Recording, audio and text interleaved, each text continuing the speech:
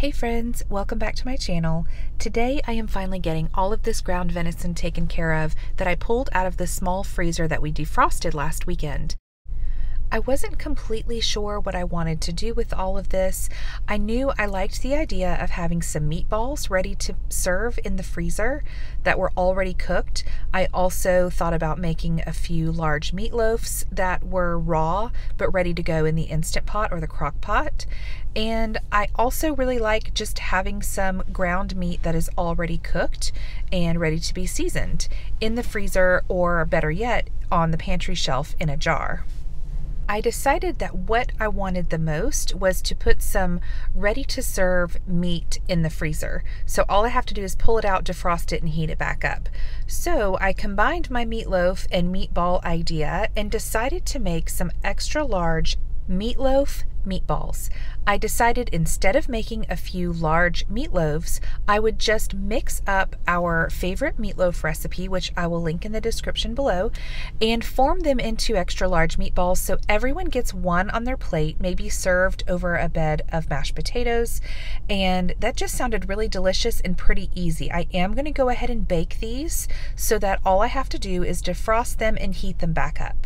Now, this recipe is pretty simple, but there are a few things that just seem to set it apart from other meatloaf recipes I've had in the past.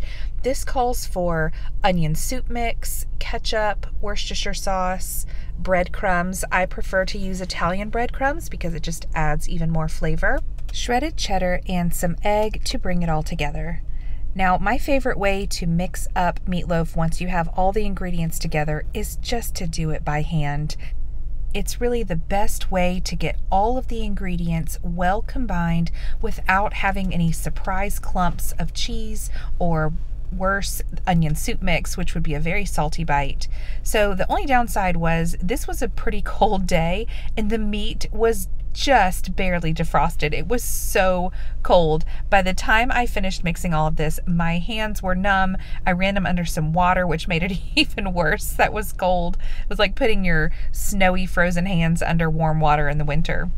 Now, I did decide to go ahead and weigh a heaping quarter cup of the meatloaf mixture to see how close I could get to about a quarter pound meatball this would be plenty for each of my children, even my big kids, to just have one meatball over their mashed potatoes um, with a side salad or some veggies.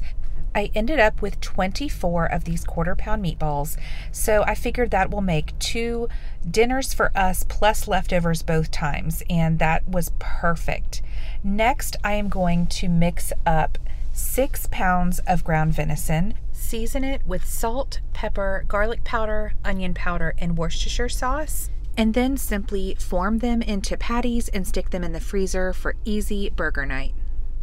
Venison is extremely lean, and oftentimes when you order ground venison from the processor, they will add um, lard or tallow to it to give it a little bit more moisture. So I usually add some sort of heaping scoop of bacon grease when I am using it for something like forming burger patties. These patties are going to be delicious. It smelled so good, and my kids are so excited to see these two big gallon bags full of burger patties in the freezer. The meatloaf meatballs are finished. I baked them a little low and slow, similar to how I would in the crock pot, and they smell amazing. They look beautiful. I think it's going to be a great idea that I will definitely use in the future. The last thing I wanted to do with the remaining ground beef, which I thought was just three pounds, but I'm kind of starting to think that these are packaged in one and a quarter pound packages because I ended up with a lot of cooked meat. I could go ahead and pressure can this in quarts or pint jars, but I think because there's just three quart bags, I'm going to go ahead and put them in the freezer. We could use this for Big Mac salad, taco salad, chili, burrito bowls. It's going to be really convenient. It was such a productive day in the kitchen. I'm thrilled to have all of this meat ready to use in the freezer. I ended up with 24 extra large meatloaf meatballs, almost four pounds of ground venison already cooked, and 28 burger patties.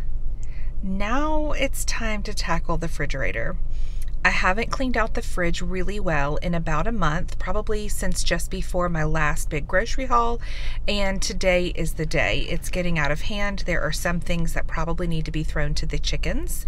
And I also want to consolidate and purge our condiments.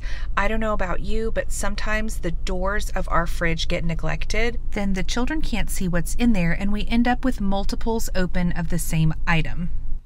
I don't know if you could see here, but I am emptying several duplicate bottles into one bottle each, checking expiration dates, wiping off bottles, and now it is time to start actually cleaning the shelves and putting things back. It's hard to tell from this distance and the speed of this video, but it is amazing how much more space we had in the doors than when I started now it's time to get down to the nitty gritty. I have not pulled the glass out of this bottom shelf, I think, since we've owned the house for almost four years. So it felt great to pull this out, completely clean it from top to bottom, get the inside of the fridge really well, and then take care of the other shelves as well. Wow, look at the difference. It is so clean, it looks like the day we bought it.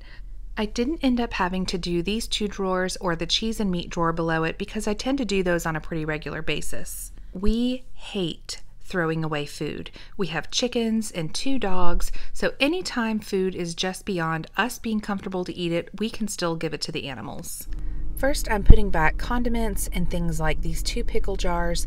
These are our very favorite pickles. The flavor is amazing. It's the Claussen refrigerator pickles. Um, they're a little bit pricey, but we actually love to save the containers and marinate chicken in the pickle juice, kind of like Chick fil A.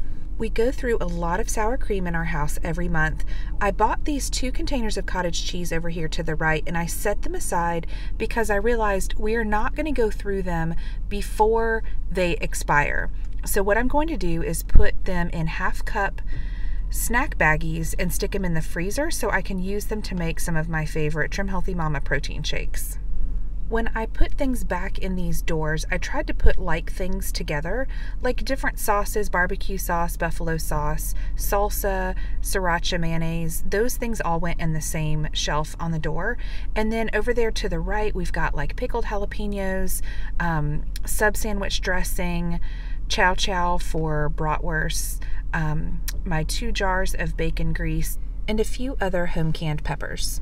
When I cleaned out our small freezer last weekend to defrost, I went ahead and pulled some things out like two pounds of kielbasa to have with cabbage one night. I finally found cabbage at the store, along with some summer sausage that my older kids enjoy for a snack with some cheese and fresh veggies. It felt really good to get this fridge cleaned out, completely organized, and completely cleaned up. Now everything is in its place there are no more unnecessary duplicates in these doors, and I know that nothing in the fridge is expired or even close to being expired.